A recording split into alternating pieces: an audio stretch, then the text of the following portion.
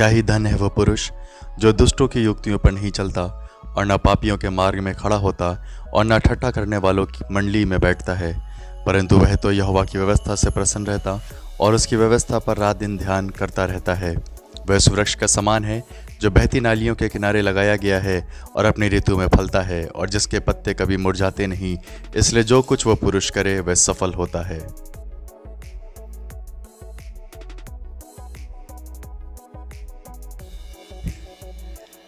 दुष्ट लोग ऐसे नहीं होते। वे उस भूसी के समान होते हैं, जो पवन से उड़ाई जाती है।